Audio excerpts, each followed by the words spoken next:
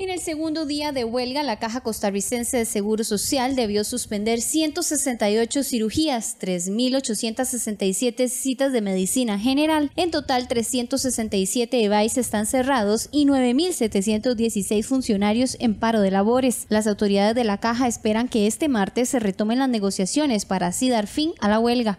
Hay una afectación del 84% de los EBAIS que están cerrados, se está dando una continuidad del 16% de los servicios, le sigue la Huetar Norte con un 72%, la Central Norte con un 60%, la Chutotega con un 53%, la Huetar Atlántica con un 43%, la Central Sur con un 29% y la Pacífico Central con un 29%.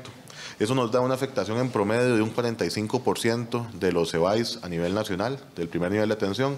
La caja afirmó que el proceso de reprogramación de citas será difícil, pues ya se tienen pacientes agendados para un año. vamos a tener un problema con la reposición de estas citas, que es que venimos haciendo más de 140 proyectos en jornada vespertina y sábados y domingos.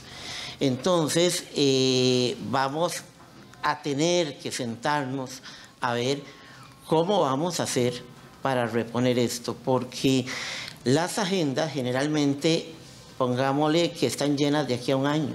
Entonces, estos pacientes que fueron suspendidos, no podemos agarrar a este y pasarlo más atrás, ni podemos poner este encima del otro. El jueves en Junta Directiva se tratará el tema de presentar el plan de emergencias para hacerle frente a asuntos como lavandería y comedor, porque esas áreas también están en huelga.